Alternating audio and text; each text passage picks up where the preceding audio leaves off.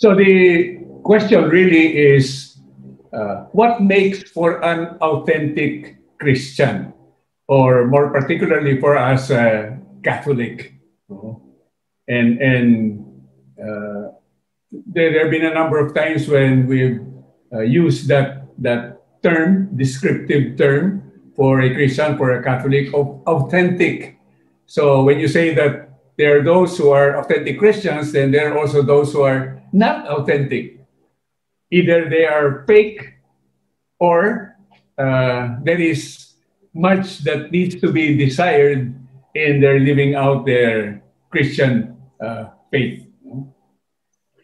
And then we have also talked about the lost sheep, where in the scriptures Jesus talk about the one out of the 100, and the, the man looked uh, for it, left the 99, looked for the one, and rejoiced when he found it.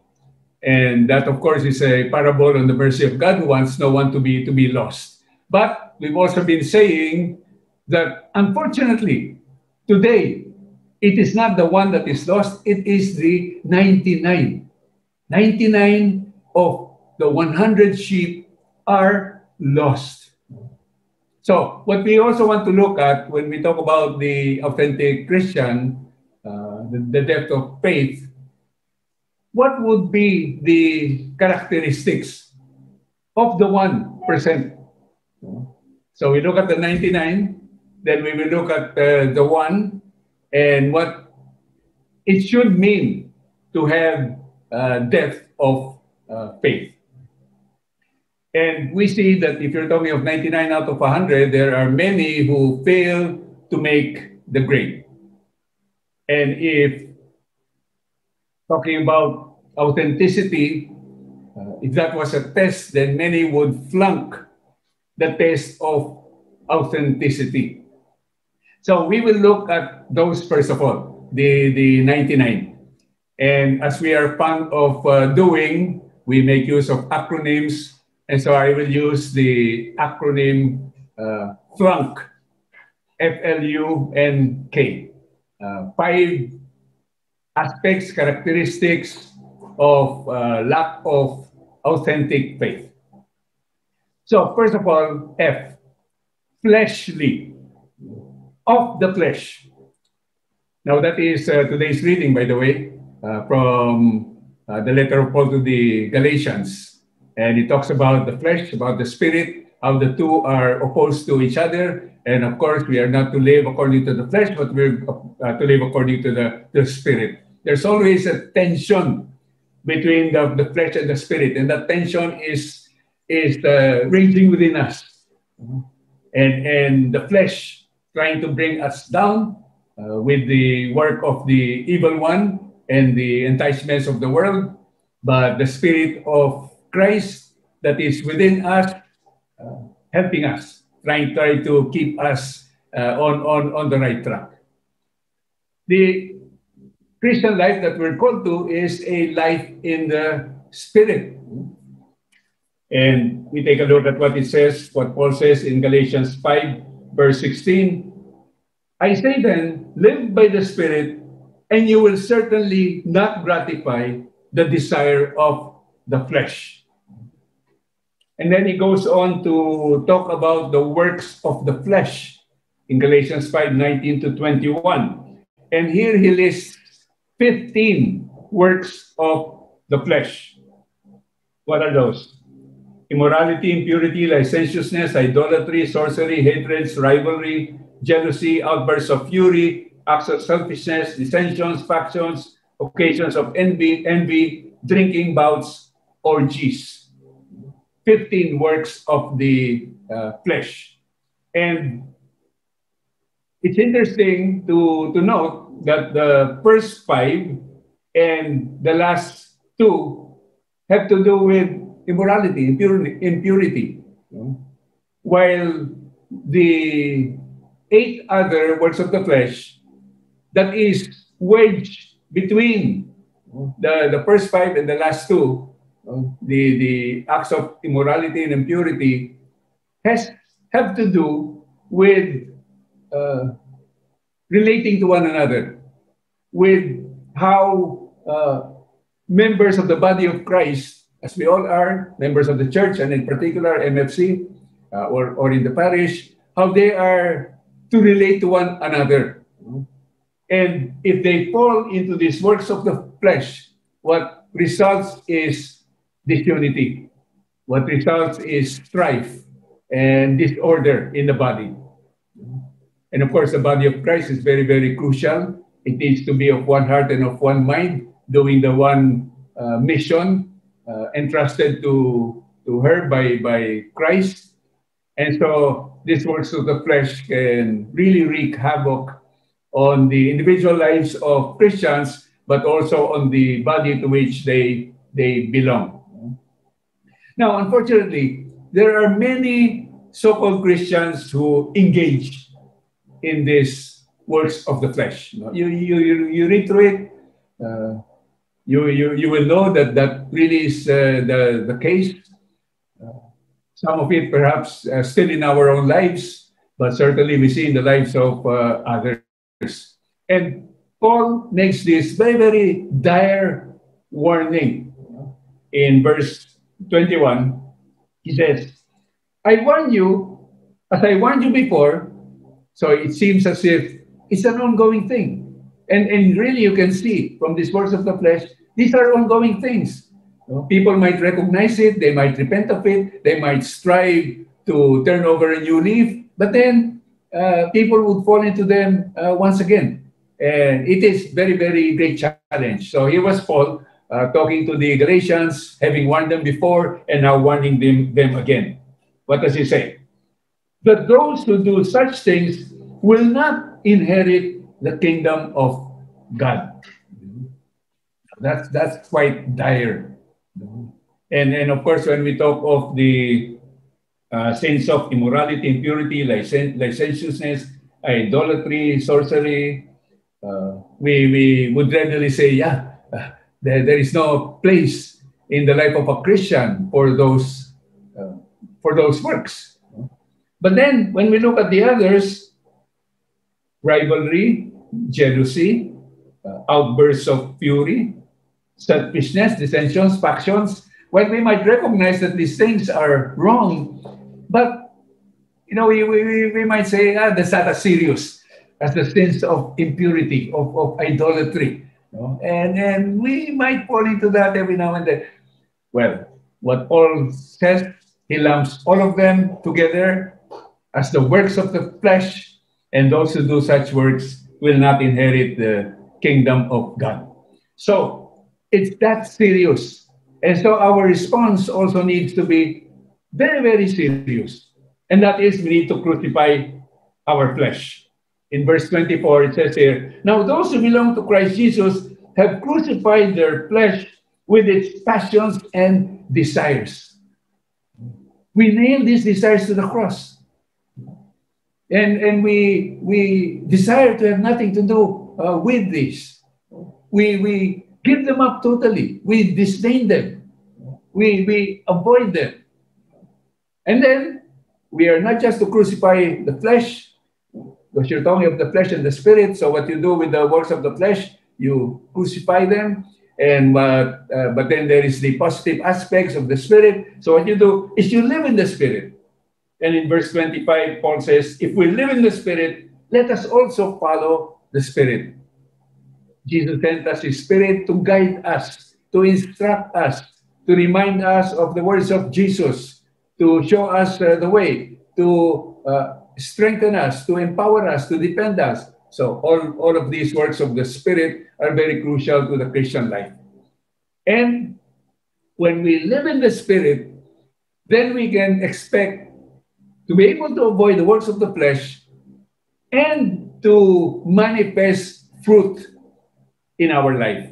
And Paul talks about that also in verses 22 to 23. He says, uh, The fruit of the Spirit is love, joy, peace, patience, kindness, generosity, faithfulness, gentleness, self control. Against such there is no law nine aspects of the fruit of the Spirit. Now, one thing that's interesting here, Paul does not say the fruits of the Spirit. He says the fruit, the one fruit. If you are a Christian, then you bear this one fruit with many, many aspects, many uh, elements, virtues, uh, ways of living that are part of the one fruit. In other words, we, we cannot just say that, well, okay, uh, uh, patience for me is, is good, but uh, gentleness, maybe I have greater difficulty with that. No, we need to strive in all of these aspects so that we produce that one fruit of the Spirit. And then uh, in verse 26, Paul continues to say, he says, Let us not be conceited, provoking one another, envious of one another. Now, think about those three things within the context of uh, the life of the community, in our relationship with brothers and sisters uh, in the Lord. Because these three aspects in particular are the key for peace in the community, for good order, for uh, unity. All the aspects that can keep us together, keep us as one, as authentic brothers and sisters in Him, as uh, uh, fellow servants, as co workers for the kingdom. These are all very, very uh, crucial. If we're not conceited, we humble ourselves. Then we, we don't stand on, on our rights, our accomplishments, our thinking that uh, we're better than the other person, or we have a, a better position. So we, we are not conceited. You might have the position, you might have the gift, but we all take that in humility that God would use someone like me and afford me uh, all those wonderful things by which I can really serve Him. Then we don't provoke one another. No? We, we try to live in peace with one another. There will be disagreements. Uh, we might rub each other the wrong way, but we are patient, that we are understanding, we are tolerant, and we are forgiving whenever need be. We don't we don't provoke. We don't uh, we don't light the fire uh, that that is starting to flicker. Uh, we don't uh, worsen a situation where uh, there is that that dissent uh, with uh, uh, between or among persons, and then we are not envious of one another. We're all part of the one body. Whatever happens, when the body is doing well, we all should rejoice. When the body is not doing well, then we can be sad and we can strive harder. But if it's the other uh, brother who is doing well and we're not doing so well in the same uh, in similar service, then still we are part of that one body. What happens to one happens to all of us. And so we're all invested together in that. Okay, so the, the first uh, aspect by which one flunks the test of authenticity in the Christian life is one when one is fleshly, uh, of the flesh. Now let's move on to the second, and that is L. That stands for lapsed Catholics. Lapsed Catholics. What does lapse mean? when, when your driver's license uh, lapses, uh, when your uh, credit card uh, expires. So what does what does lapse mean? It means expired. It means voided. It means uh, terminated. So a lapsed Catholic is no longer active or practicing uh, the faith. he is not living as a Catholic and if you're not living as a Catholic, then you're not living as a Christian. The faith has lapsed you by. You, you have set it aside. You are not uh, living it. Now, there are various degrees of being a lapsed Catholic. So when we talk of the 99, uh, there are different degrees.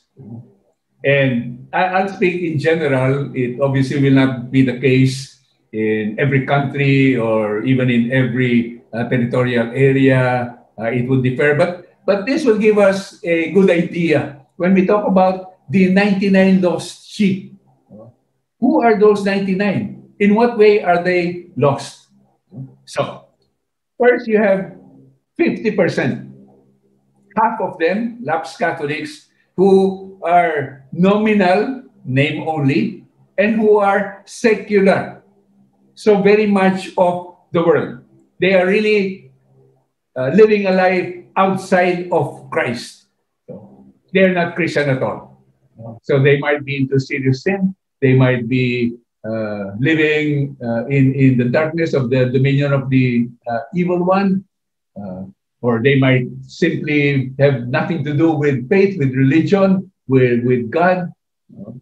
So a good number of, of, of Christians, half are nominal and secular, not spiritual. And then you have one fourth, 25%, whom we might say are basically good people, but their faith is separate, uh, separate from their uh, secular lives. So there, there is a dichotomy. Here is my life of faith. I try to act spiritual, but then here is my uh, secular life, my life in the world. So that really does not have that much space for for the spiritual. So these Catholics might go to mass now and then, but they don't see it as a regular obligation, weekly obligation maybe to be done when it's a special occasion, birthday anniversary, or, or Advent or, or Lent, but not regularly. And then the rest of the week, they might engage in things not pleasing to God. It, it might be uh, some of the things that are were described by Paul as uh, the words of the of the flesh, hatred of other people, jealousy, being jealous of, of others, uh, unrighteous anger, envy. So it might be those things uh, that are not pleasing uh, to God. And then you have 15% who, let's say, are regular churchgoers. Every week they go to church. But basically, they still have their own priorities, agenda, uh, desires. They have not turned their life over completely to Jesus. So Jesus says it's time, one hour on Sunday, once a week, and then maybe they, they also have their, their prayer time, but here is a time that I allocate to Jesus, the rest of the time is mine. Now, uh, I'm not saying that necessarily they are doing bad things. But uh, they call the call to a Christian, to an authentic Christian, is to be totally committed to God, to turn our life over completely uh, to Jesus, you know, and let Him run our lives. So he, Jesus is not just there, sometimes even regularly, but He needs to be there all the time. We live our lives 24 7 for uh, Jesus. Now, then, another degree, you have 9% who are good Christians, let's say, but might not be striving for holiness or engage in the work of the kingdom. And basically, that is the work of uh, evangelization. So, you need, even, even for many of us, uh, if, if, if you were living, you might say, fairly good Christian life before, taking care of your family, uh, going to church uh, weekly, uh, praying. But perhaps there was no thought, no knowledge, no striving for holiness. That we are called not just to be a good Christian, but a holy Christian, to be like Christ, to be another Christ. In fact, to be perfect as the Heavenly Father is perfect. And then for many lay Catholics, there is no thought or conception of the call to proclaim the gospel, which is the most fundamental call for a Christian, which is the final instructions of Jesus before he ascended to heaven. This is the Great Commission. This is the continuation of the very work of uh, Jesus in the world uh, in order to help bring uh, many more souls into the kingdom, which was why the Father sent His Son into the world in the very first place. So many are not engaged in that. And if, if we are not engaged in that, we still fall short. What is the definition of sin? It is falling short. So when there is the, the bar that uh, God gives to us and we fall short of that, then that is what uh, how you can describe sin. Of course, if you're up there, you're not quite uh, at, at, at, the ideal, but near to it, then you, you commit uh, small sins still. But there are many who are way, way down and they can commit very grave sins. So that makes up 99%. And the one, uh, we will talk about that them a uh, uh, little bit more uh, later. So they are those whom we would say are living an authentic Christian or Catholic faith. So it's 1% that is a small flock. And unfortunately, that is the reality today. In the church, in a world where there are 2 billion Christians, half of them, 1 billion Catholics, it's really just 1% who are living the fullness of the authentic Christian uh, faith, who have that depth of, of, of faith. So there are very many uh, lapsed Catholics. That's L. Moving on to the third uh, aspect of those who flunk the test of authenticity, who failed to make the grade, U, FLU. These are, this is unknowing. So, unknowing Catholics. What does that mean? They're basically clueless as to what is the authentic faith. And they, well, they, they, they lack formation. And you know, even even like in the Philippines and other many Western Christian nations, they they are Christian, they are Catholic, but uh, many many of the Christians, the Catholics, again, are not living out the authentic uh, Christian faith because they lack formation. They might have been born in a Catholic family and went to a Catholic school and their their peers, their their friends, their relatives, their home is uh, uh, Christian, but they don't really know the essence of the faith. Now, what, what do I mean? Okay, the, the most important aspects of the Christian faith. First of all, the Lord Jesus Christ Himself. We are supposed to live a Christ centered life. But there are many who know about Jesus but they don't know Jesus. They don't have a personal relationship. They don't have a deep, intimate personal relationship with Jesus. But that's the only kind of relationship that one needs to have. Where Jesus is uh, the very essence of our uh, lives, where, you know, if we want to be founded on rock, we listen to and act on the words of, of Jesus. And that means to say, we, we need to know him. We need to know what he teaches. We need to, to know how, how we how we act, what he, his instructions are. You know? And and he's, he's called to holiness. He's called to Christian perfection. But you and I know that there are many who are totally unaware of, of uh, that aspect of the Christian faith.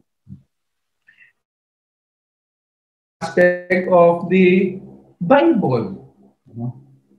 And among Christian denominations, it has been said, and I think rightly so, that Catholics are uh, the least into the Bible. All our homes have Bibles, but they are, are not really read. Now, St. Jerome said, ignorance of Scripture is ignorance of Christ. So, how will you know about Jesus if you don't read, if you don't study, if you don't meditate on the very words of God? How will you know the instructions beyond the words of Jesus, but uh, the fullness of the faith, including what is in the Old Testament throughout salvation history, unless you read the Bible? And the Bible is our instruction uh, book. And very, very essential, very, very uh, critical. Uh, but again, unfortunately, many Catholics do not know the Bible. They do not read the Bible, much less uh, meditate and, and try to apply uh, biblical principles to their day to day lives. So they are unknowing. Ignorance, ignorance of Christ. And then there is that very important person in our lives, Mama Mary. And and now in, in the case of Mama Mary, uh, there are many, many Catholics, especially in places like the Philippines, where they have a Marian devotion. So they're very much devoted to, to Mary. They pray the rosary, they go, they do novenas, they go on on Marian processions, and that's that's a good thing. But there is so much more, and this is precisely what we've been learning uh, here in in MFC about uh, Mary, her role in spiritual war. So oftentimes the concept of Mary, well, she's our sweet mother. So so uh, demure and and quiet, actually serene, a very good person, but is not really all that outgoing. Well, there's not so much that she does and says that is recorded in the Bible, but what we learn about her is that she is very much engaged in spiritual war. From uh, the the the very time when when war broke out in heaven and Lucifer was thrown out, defeated by Michael, and Lucifer became Satan, and uh, the the dragon, the ancient serpent, was trying to devour the the child born of the mother, and that talks to us about Mary and her son, that is right there in the midst of spiritual war and engaged in that and the ancient serpent, the dragon, trying to devour the child, to destroy the child. And of course, in the case of uh, Adam and Eve, our first parents, uh, they, they fell due to the temptation of the serpent. And when God called the protagonists together in the Garden of uh, Eden, uh, he was addressing the serpent and says, I, I will put enmity between you and the woman, and between your offspring and hers and we understand the woman to be Mary. I mean, it's a prophetic uh, pronouncement that gave hope. They were going to lose it all. They were going to be sent out of Eden. But there was hope because there is the promise of a Savior. And the woman is Mary. She's the new Eve. And her offspring is uh, Jesus, who is the new Adam. And together they crush the head of the serpent. So this is very, very uh, important. And, and uh, many Catholics uh, are not aware with that, but, but that is so very crucial to know so that even in our prayers, even when we make use of the rosary, uh, that, that we see that this is a spiritual weapon precisely to be used against the evil one in the spiritual war that we are engaged and and we we in MFC we call ourselves the Army of Mary, and of course we are the Army of Christ, but the two are together. There is no tension or conflict between them. They are the dynamic duo. No? They're they're a, a the, the the the pair the uh, with Jesus as the uh, redeemer, the one redeemer of the world, and Mary as his co-redemptrix. So this is important to know. And even in our devotion to Mary, that we see her uh, engage as we are, as we all are, engaged also with us in spiritual warfare. So that's why we have consecrated ourselves to uh, Mary. You know? and, and we say that we are uh, her uh, holy warriors. So Mary, many are unknowing of that aspect of, of Mary. Uh, what else? What else are many Catholics unknowing of?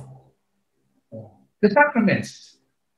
They might know that there are uh, seven sacraments, of course, they're baptized as infants, they're confirmed as a young person. Uh, then they get married. Many, many, many get married without really uh, understanding what this uh, sacrament is about. They they get a, a brief, uh, quickie uh, instruction, uh, but they don't really know. Well, anyway, you you really learn it as you go through marriage itself. But the two sacraments that are regularly available to us would be the Eucharist and reconciliation. And the Eucharist is supposed to go to Mass, receive Holy Communion. Well, go to Mass every every week, receive Holy Communion. Uh, what is it? Is it uh, at least once a year? But for us, if you go to Mass, you should receive Holy Communion. Why would you not receive Holy Communion? And if you're in grave sin, then you confess. And even as you go to Mass, you're there in the presence of the holiness of God with Mama Mary, the angels and saints. It's a, it's a holy coming together, commemorating the uh, passion and death of our Lord Jesus Christ. It's a very holy event. And that is so crucial. And we need to understand what really happens. Uh, there's so much that happens in, in the Eucharistic celebration. Uh, I've spoken at length uh, about that in one of the podcasts as well. And uh, I, I said that it's like a uh, school of formation that we go to each and every week where Jesus is the teacher. And he reminds us of all the things that uh, we need to be doing. And if we don't, then we're returning once again and reminded once again. And if that happens each and every week, you you'd be a hypocrite if you didn't really strive to overcome the, the aspects of life where we lack uh, in the Lord and to try to become the persons that God, Jesus really intends all of us to, to become. So the sacraments are very, very crucial. They're part of our uh, spiritual uh, equipment. You know? They, they strengthen us for the work that is there. And then just one more, there, there would be many others, but talking about uh, Catholics who is unknowing there is the church. Now, Catholics know, yes, there is the church. And some of them might think in terms of church, the parish church where they go to, but there is the church, the one body of Christ on earth, that we are all brothers and sisters to one another. That, that Jesus instituted this church in order to uh, continue to do his work on earth until he returns once again. And as, as church, as the body of Christians, we are supposed to be light to the world. We're so, supposed to be leaven. And this church is supposed to be missionary. How many Catholics really understand all of those? Many of them are, are unknowing that uh, Jesus did institute uh, did set up uh, a, a, a body, a, a church uh, founded on the rock that is Peter. Of course, rock with a, capi- with a capital R is used himself. And that this uh, church is the, the body by which uh, his will, God's will, is continued to be done in the world. And a big aspect of that God's will is again being missionary. The church is missionary. Many have forgotten that. Unfortunately, even among the clergy and the prelates, they're engaged in so many, many different things, including social justice issues, but are not so much anymore into the proclamation of the of the gospel of salvation in Jesus, into uh, actually making disciples of all the nations but that is a critical work of the church. So you is unknowing.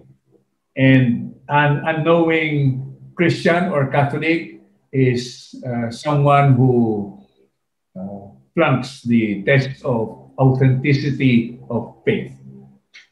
Okay, let's move on to the fourth, and that's N, neo-modernist. Now that's actually the same as modernism. We've, we've been speaking many times about modernism, but modernism rears its ugly head every now and then throughout salvation uh, history, throughout the two millennia. So, uh, so today we're seeing modernism once again, and you, you can call it neo-modernism, just like new evangelization. Evangelization is evangelization. But during these times, uh, the Holy Spirit is calling for a new evangelization, a neo-evangelization. So, neo-modernism. and Paul the Tenth said that modernism is the synthesis of all heresies, heresies against the faith all the things that go against the faith that that are wrong the the synthesis the the, the summary the putting together of all of those heresies is uh, modernism and what basically does modernism mean well uh, modernism by by its name seeks to modernize the church seeks to modernize beliefs in uh, the church or, or of the church. And modernize means making up to date. No? And basically, what that means is conforming it to the spirit of the age, to the zeitgeist. So there is that, that particular culture, that particular spirit that, that animates a particular age, a particular period uh, in historic time. And modernism says the church needs to conform. No? You need to modernize. You, you, you cannot just uh, remain with your uh, tradition and age-old teachings. In fact, modernism says that there's no such thing as, as uh, unchangeable, as, as permanent.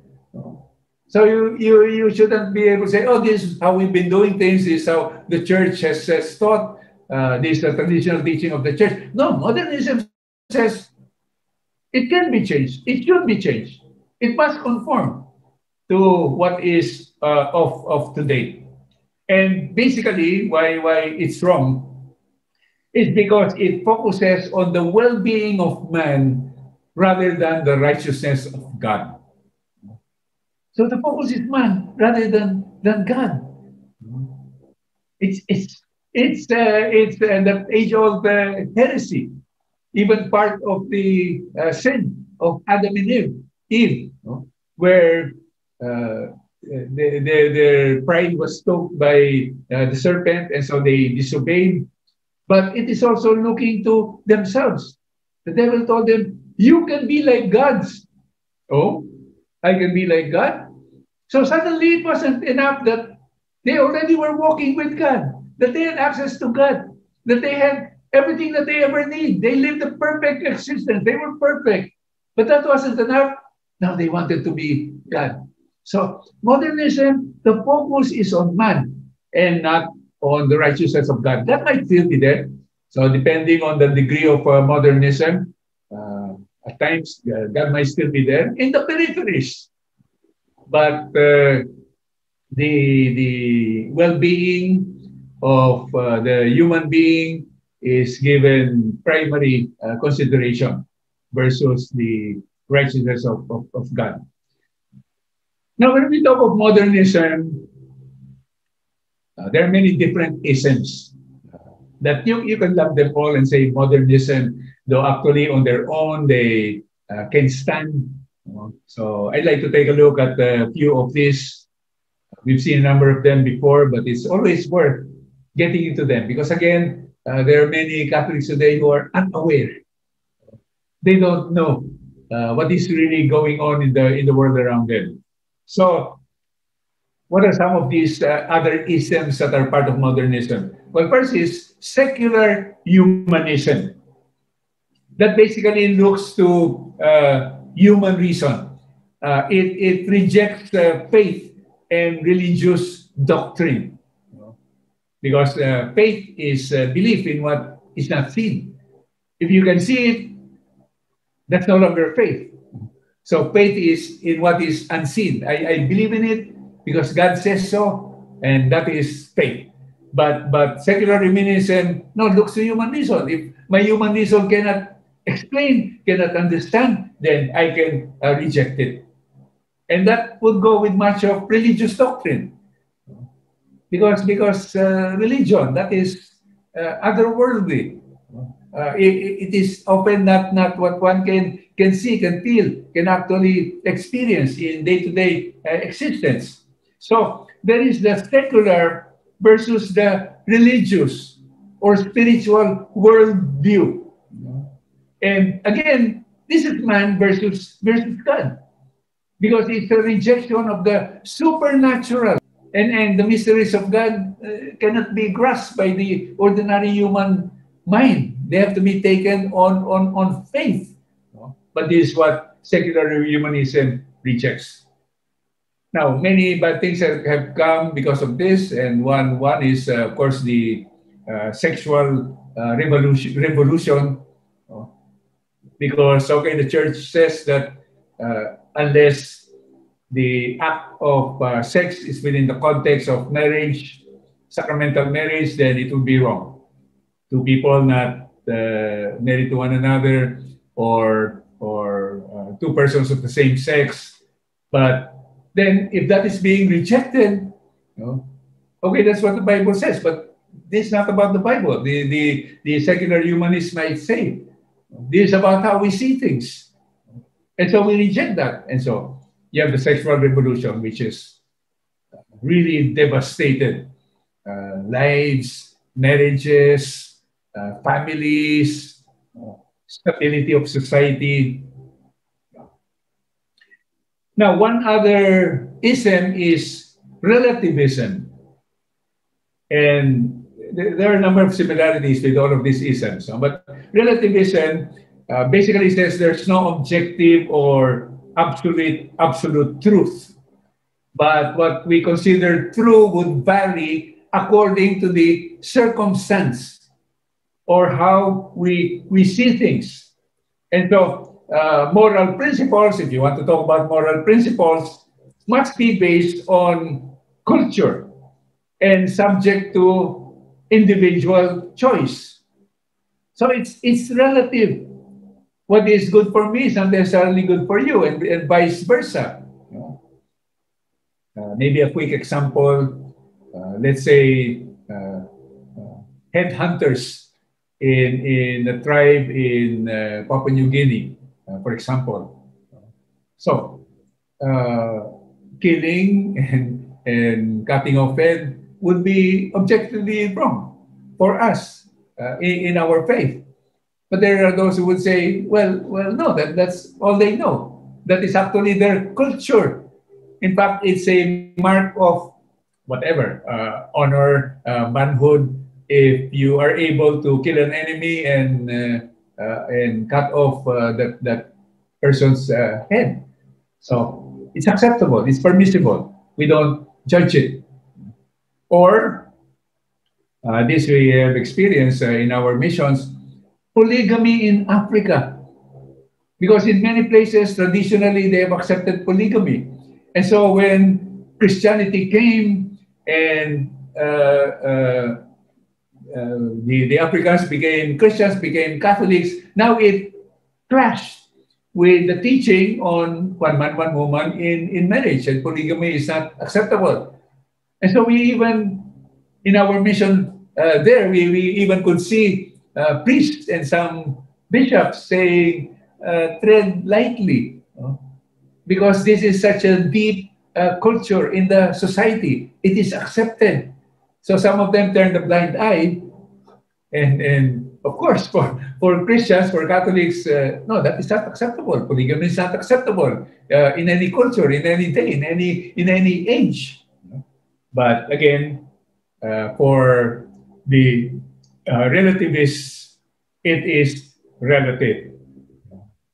It is, it is not uh, about absolute uh, truth or moral principles, but what is acceptable to a particular uh, culture. So in, in that case, all points of view are valid because all truth is relative to the individual. So that's why even in today's society, you see moral confusion because of this, this kind of thinking. Who are you to judge me?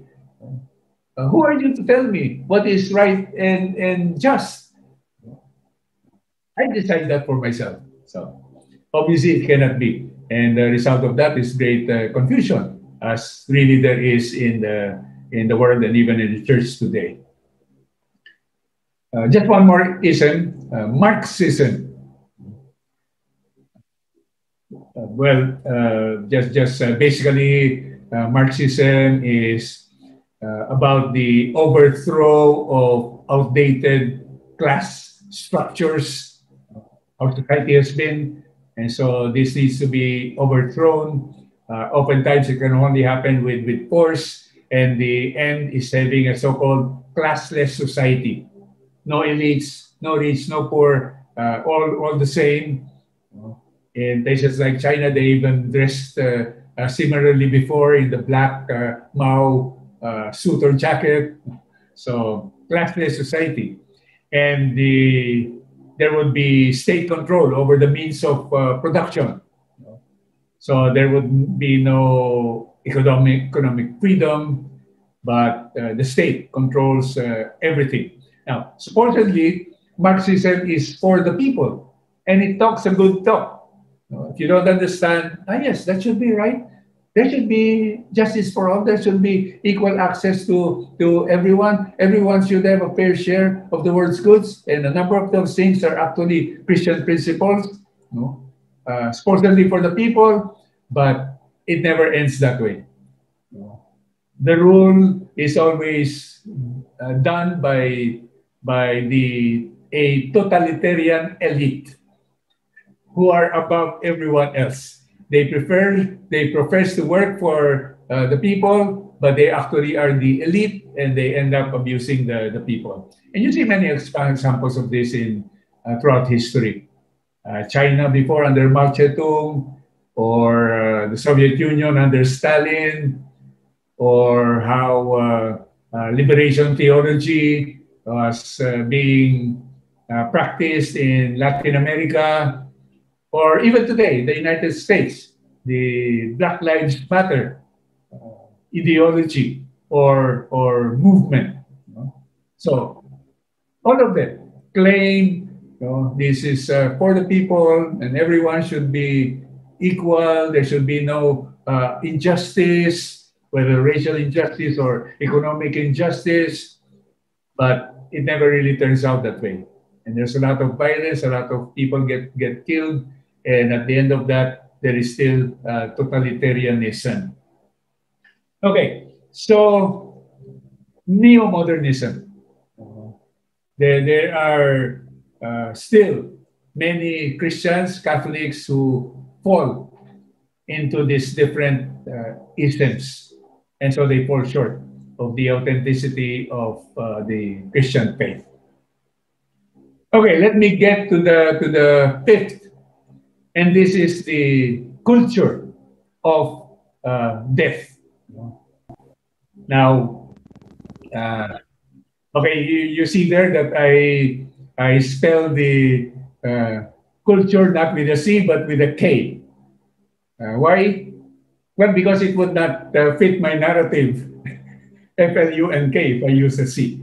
No, uh, seriously, that, that's quite a stretch. But but I, I looked it up in the internet, in Wikipedia, and uh, it is accepted to, to many today. And to me, actually, it's a little bit silly, uh, even stupid, but that's the culture of today.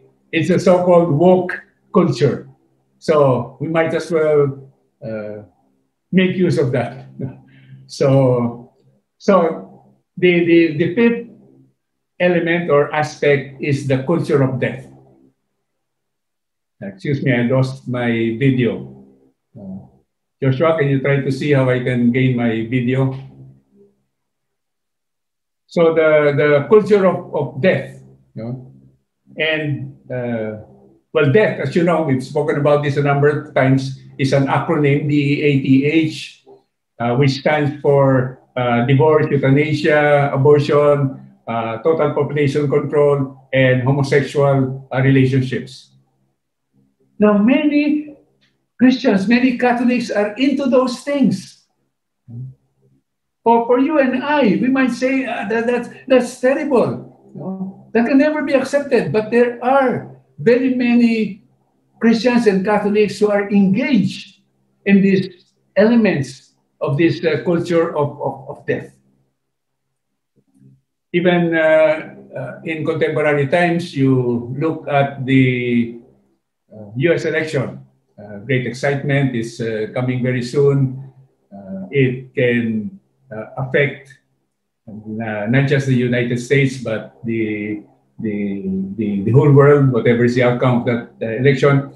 But there are politicians there who claim to be devout Catholics, but are rapidly and aggressively for abortion without any limit, even up to just the moment before the child comes out. And now, in some cases, even as the child has come out, they can still kill the child. That's no longer technically abortion, that's infanticide. But that is where it has, it has gone uh, to. This the, the culture of death that is deeply entrenched and, and again, it's not just people uh, engaged in that. There are many sinners in the world, but these are people who claim to be devout, who insist on receiving Holy Communion, who speak about their faith. And unfortunately, they're not really called out by, by uh, some clerics or prelate. Joshua, can you look at my screen? Yeah. So then there are, uh, okay, culture of death. So uh, ho ho homosexuality, for example. Oh, thank you, son. Uh, homosexuality. Now, gays, uh, if you are not actively into homosexual uh, relations, you can be a good Christian. You can be an exemplary Catholic. You, you can have that uh, tendency or that that uh, uh, attraction. It's a disordered attraction, but you know it, it's there. But you can resist it, and you can live a chaste life. But what is not acceptable is to be a supporter of LGBT because it is an ideology that is anti-Christian. It is totally against the precepts of God. It is totally contrary to the way that God designed uh, uh, uh, things, uh, as, as we see in the very first book of the Bible, the, the book of Genesis, chapter 1. It is not in accordance with the Christian faith. It is totally contrary. It seeks to destroy that Christian faith. It goes against the very uh, tenets of, of, of God.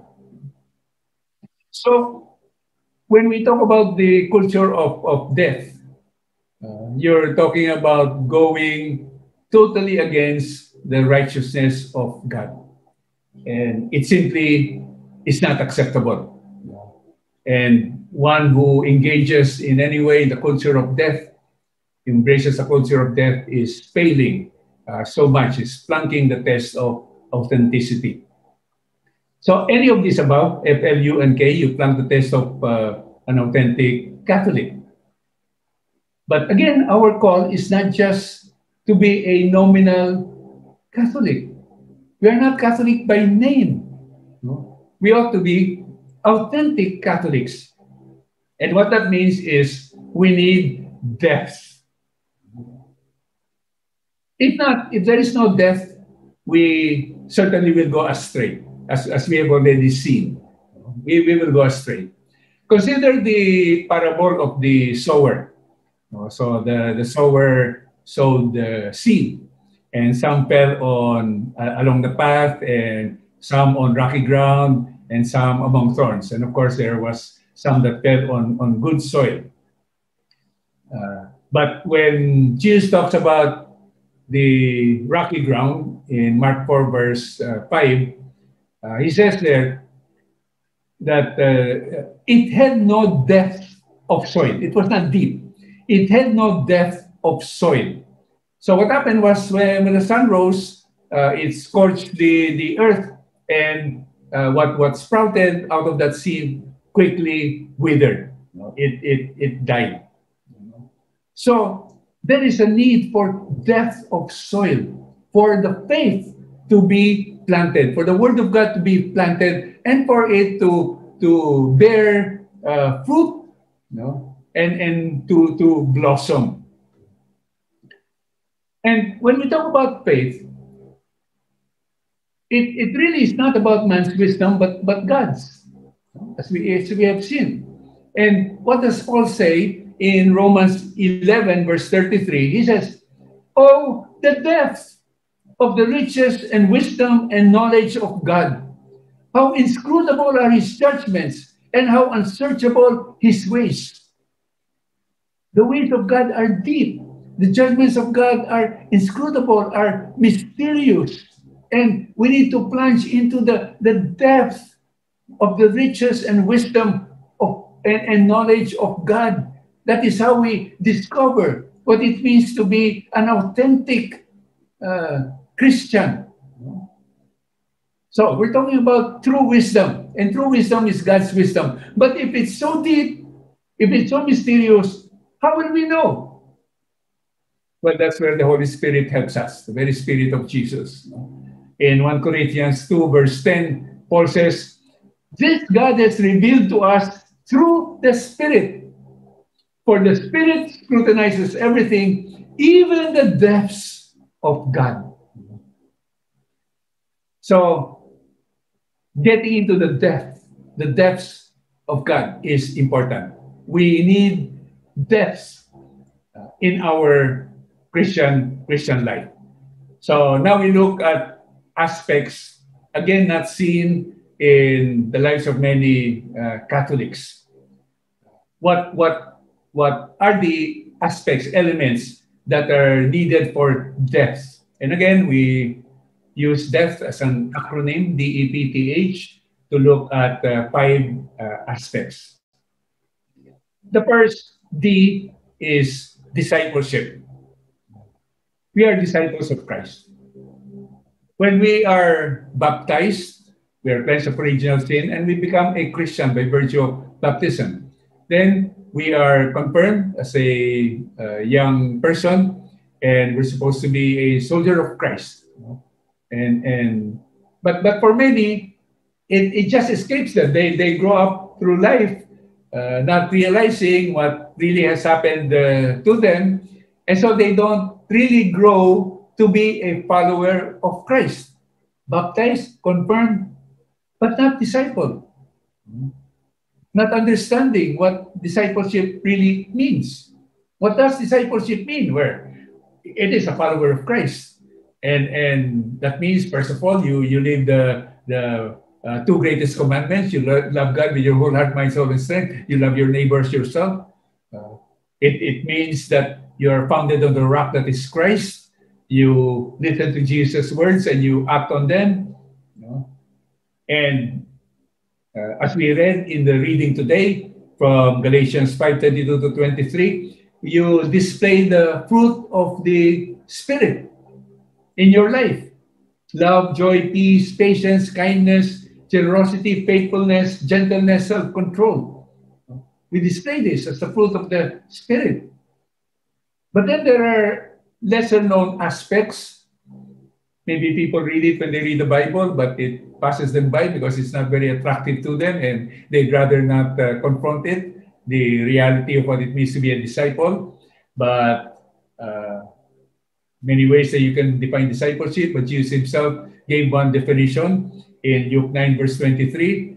Uh, he said, If anyone wishes to come after me, uh, he must uh, deny himself and embrace his cross, take up his cross daily, and follow me. Uh, three aspects that are important there self denial, embrace of the cross, following Jesus. So, how many Christians are really into self denial? For most Christians, even the good ones, well, they're out there looking for themselves, not necessarily going to do wrong things, but you know, uh, what is important is uh, my my well-being, my my happiness, you know, my uh, security. Uh, but it cannot be for a disciple. It is up to the master to look into that for you, not for you to be the one to seek it out. Because the call to a disciple, the definition of being a disciple, is turning my life over to the master to do with as he sees fit. Not my preference, not my agenda, not my priorities, not my desires, but uh, the master's. And then there's embrace of the cross.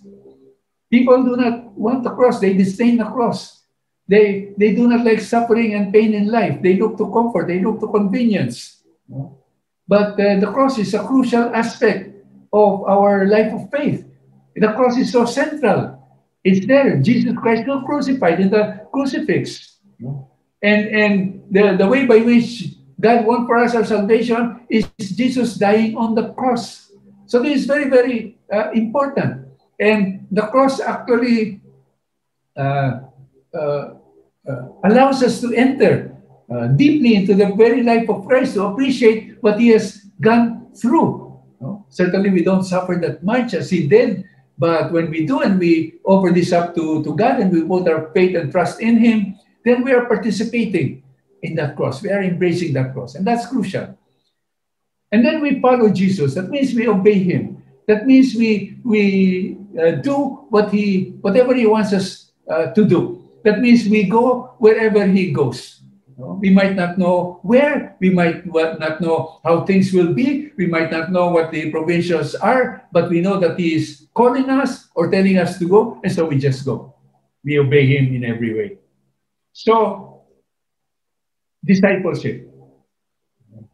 A, a, the, the, uh, the depth of our faith, uh, one crucial aspect is discipleship. Then we move to the second, and that's E, evangelical. Now, I don't know why the word evangelical has been co-opted by the evangelicals, you know, our Protestant uh, brethren. And when you talk of evangelical today, that's what we think of the evangelicals. Uh, uh, but but evangelical is, is a very Christian word it ought to be a very, very Catholic word. You know? And evangelical comes from the Greek evangelion, which means gospel. You know? The evangel, you know? the, the gospel, the good news of salvation in Jesus. And we are supposed to be committed to the Christian gospel message of Jesus as Savior and Lord. Now we see the so-called evangelicals, they are they're very aggressive. In fact, while Catholics are nowhere to be found and not very aggressive, private in our faith, just going to church if you're still going to church, but to go out there and proclaim the, the gospel aggressively, that's what the evangelicals do. No, that's what we should do because we ought to be evangelical as well. The evangelicals look to uh, to revival. They they have an emphasis on converting outsiders, even Catholics, because they think that Catholics are not Christians. So the, the evangelical uh, looks for an opportunity to convert us to evangelicalism. But uh, that is what we as Catholics should do, to look to revival, uh, renewal of our lives, of our families, of society, re renewal and revival within the church, seeking to convert uh, others to the, to the faith, to make disciples of all the nations. That's proselytism, to seek conversion, to, to become uh, Catholic, to be baptized in the name of the Father and of the Son and of the Holy Spirit. That's what evangelical uh, means. And we are supposed to be evangelical. Then you know that uh, others are, other evangelicals are called born again. So you you also see that all those born again Christians, you know, uh, and and uh, the born again so-called born again Christians, you know, and they ask a Catholic, "Are you born again?" And, and we're flustered, don't know what to answer. Uh, of course, yes, we are born again. We are renewed from from above. We, we have experienced uh, conversion, metanoia. We have repented of sin. We have turned to Jesus as, as our Lord. But there are also aspects of the born again that uh, ought to be normative for uh, the Catholic. For example, the Bible. We, al- we already mentioned the, the Bible. But the, the evangelicals, the born again, there's so much into the Bible. We Catholics are not. It cannot be that way because we will remain uninformed. We will be ignorant, uh, not just of Scripture, but we'll be ignorant of, of Christ. no? And then there ought to be a focus on uh, the sacrificial death of Jesus on the cross and its saving effects. How often do you actually hear Catholics, lay leaders, or uh, clerics talking about uh, this, this salvation and explaining the salvation one when Jesus on the cross for each and every one uh, of us? But this is crucial. This is the fundamental basic message. This is what we, we ought to, to proclaim because people need to hear that. Faith comes from hearing, and people need conversion. So we, we have to do as the born again uh, Christians do. And, and it is very Catholic when we, when we do that. It, it's it's uh, unfortunate that, that uh, Catholics uh, do not know so much that needs to be known. The essential aspects of, of the faith that one needs to be renewed, one needs to be born again or uh, renewed from above. That one uh, needs to delve into the Word of God, to devour the Word of God each and every day and make the Word of God uh, a, a part of our lives, to, to live the Word. That one needs to look to the cross of Christ, as we spoke about uh, earlier. The authentic uh, faith is, is about the, the cross of Christ. The authentic gospel is the gospel of, of the cross. That one needs to do the work of evangelization, of, of mission, to proclaim the gospel and make disciples of all the nations. So, brothers and sisters, this, this is what it means to be evangelical. And Catholics are or are supposed to be uh, evangelical. And if we are not, we are missing out on the depth of the authentic uh, Christian faith. Let's move on to the third, DEP. So P. Now, this is another word that has been co-opted by our Protestant brethren. P, Pentecostal. And and if you uh, talk Pentecostal today, ah, you mean those Pentecostals, or uh, what are you now? You're speaking in tongues. You have you become Pentecostal? Okay. Pentecostal refers to Pentecost, that major event in the life of the church when the Holy Spirit came down upon the disciples and and and they were empowered by the Holy Spirit. They were filled with the Holy Spirit and they spoke in tongues and they prophesied and they worshiped God. And from that time in uh, Jerusalem, in that upper room, they went out and and uh, evangelized so many, did uh, rapid, massive evangelization, and then went to the known ends of the earth at that time, and of course today, the, throughout the the whole uh, world. Why why will we allow our Protestant brethren to co-opt the term evangelic uh, uh, Pentecostal? We are Pentecostal. We are a people of uh, Pentecost. no? and and we we we value so much that that whole uh, that that whole great event when Jesus had said to his disciples, you you you you go to the upper room in Jerusalem and you wait for the promise of the Father, and it actually happened. The descent of the Holy Spirit. So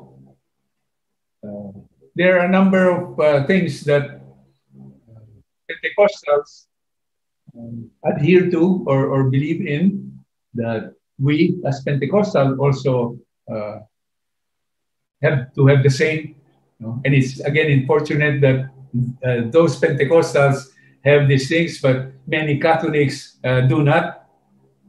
What are those? Well, that we have a personal relationship with Jesus. He is our Savior, He is our Lord. He's not just some part of God that we somehow relate to, but He is alive, He is there uh, for us. we, we trust in Him. We put our whole faith in Him. We hope uh, in Him. Uh, he, he animates each and every day of our lives. We are 24 7 for, for Jesus.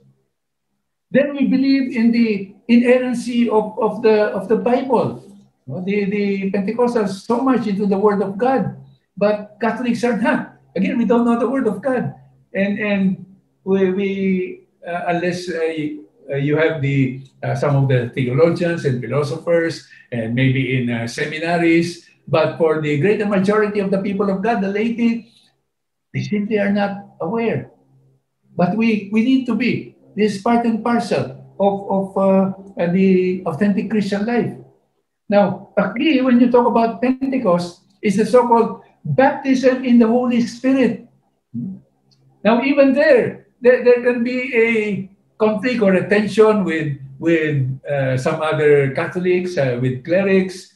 Uh, they, when you talk when we talk about uh, baptism in the Holy Spirit in the way that we understand it, uh, they will always say, "Oh, there's only one baptism in the Spirit. It happened in the sacrament of baptism." And while that's true, in the sacrament of baptism, we are filled with the, the Holy Spirit. We are baptized in the Holy Spirit, and that is affirmed in the sacrament of confirmation.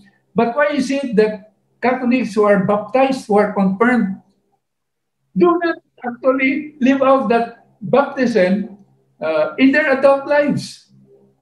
Many of them live far uh, from, from, from Christ. And, and uh, they, they don't have the authenticity of the, of the Christian, Christian life.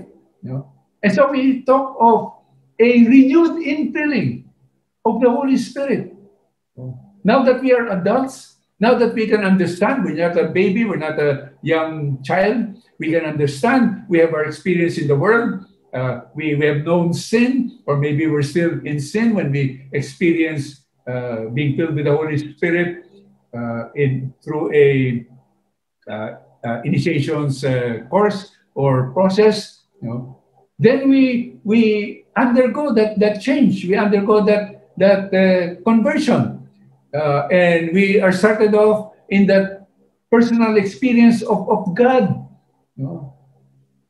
That, that is what the infilling of the Holy Spirit is about. And, and, and all uh, adults must have that uh, experience. Otherwise, okay, you, you're sacramentally baptized and confirmed, but you're not actually living out the authentic Christian life. And then with baptism in the Holy Spirit, we receive spiritual gifts. And, and there, that's very much understood as well. You, you ask uh, most priests, how many spiritual gifts are there? And they'll say seven, and they'll be correct. It's the list in uh, Isaiah uh, 11, verses 2 to 3. But the spiritual gifts that we are concerned about is the list, the most basic list. It's the list of nine gifts in 1 Corinthians 12. The, the seven gifts are for personal sanctification. That's why when we're baptized, we are cleansed of original sin. We can grow to, we have it in us, the gifts of the Spirit, by which we can grow uh, to be a holy person. But uh, the gifts of the Spirit uh, conferred when we have this adult infilling of the Holy Spirit are gifts for service. Each one is given a gift, and when you put all of those gifts together as one body, as one community, then that body, uh, the church, or individual bodies within the church are able to do its mission effectively because of those gifts. But many do not understand those gifts. maybe that was the case for, for you and I as well. Uh, before we entered into the renewal and underwent uh, all of this uh, formation. So, with, baptism in the Holy Spirit, you know, there's also the whole aspect of holiness not just a good person, but a holy person. There's that aspect of spiritual empowerment. I don't just trust in my own capabilities, my own resources, but I know that uh, in this uh, spiritual work, uh, I cannot prevail against the enemy who is powerful, but because of the Holy Spirit, the empowerment that is there, uh, we can prevail by the grace and mercy of God. And then we look to the uh, evangelization of the whole world. We are, uh, we are driven with desire to proclaim that salvation in Jesus to as many as, as we can. So that's what Pentecostals do. And because we Catholics are Pentecostals, then that's what we should do uh, as well. Now, in uh, among Catholics, this type of renewal happened through charismatic renewal. And I think that was in the mid uh, 1970s where charismatic renewal came into the church. So the Catholic charismatic uh, renewal, the experience of baptism in the Holy Spirit, spiritual gifts, including, including tongues. So renewal in uh, the Spirit. But uh, unfortunately, many still today in the institutional church do not accept or might even oppose some of these uh, practices, especially like tongues. Or do you hear about the prophecy uh, today in the church? When, when prophets are so very, very needed because there's so much darkness and evil even within the church. Uh, prophets need to be heard to be to speak, but you don't see uh, so much those gifts being uh, exercised. So P is for Pentecostal the authentic faith and to grow into the depth of that faith is to be Pentecostal. Okay, the fourth aspect, uh, T. And I'll give you a word that you probably might have heard of the first time. T. Tub thumper for Christ. Tub thumper for Christ. Okay, I think it's the, oh, there you go. Tub thumper for uh, Christ. That, that's a new word. And, and uh, what is the definition of a tub thumper? Well, it is one who argues for or promotes something vigorously. It, it is uh, an advocate whose, whose speech is uh, passionate. Uh, it is a vociferous supporter or promoter of a cause. It is one who has great energy and determination.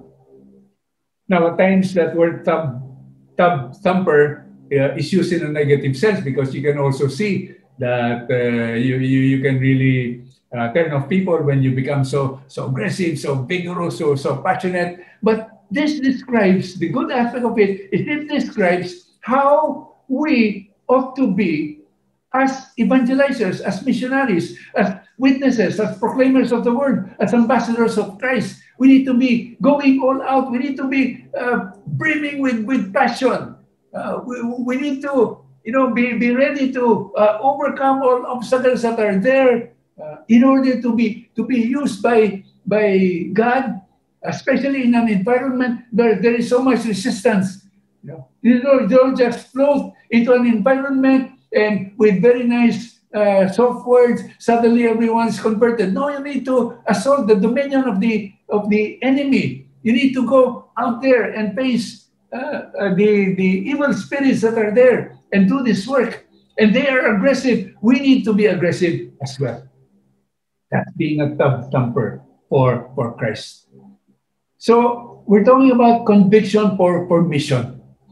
And again, we know that this is about the final instructions of our Lord Jesus Christ. It's the Great Commission before he ascended into heaven.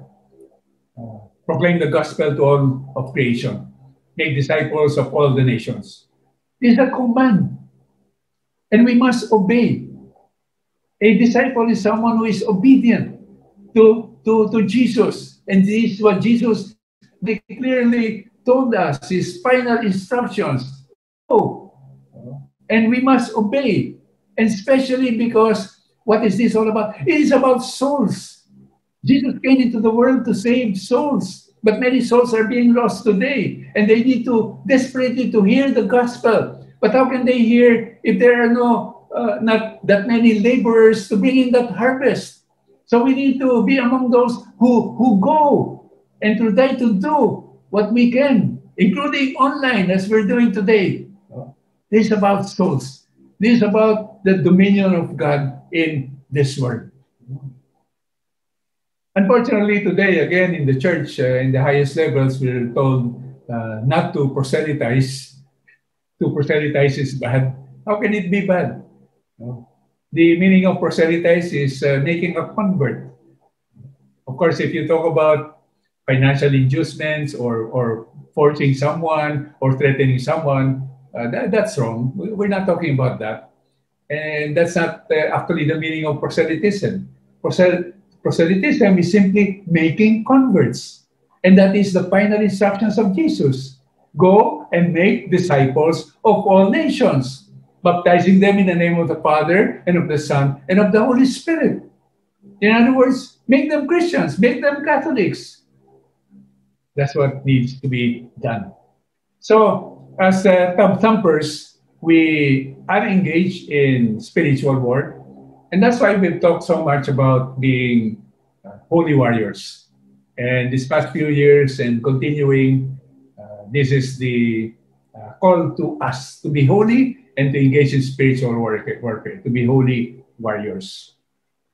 And talking about holiness, that brings us to the fifth aspect. Uh, uh, death, D-E-P-T-H, so now H, holiness. We always talk about holiness. And we need to always talk about holiness because it is something lacking in the lives of so many uh, Christians and Catholics today.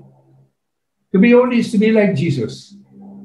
To be holy is strive to uh, be perfect as the Heavenly Father is perfect. As Jesus himself told us in Matthew 5 verse 48. To be holy is to be set apart. You're in the world, but you're not of the world. Unfortunately, many Christians, many Catholics today are in the world and of the world.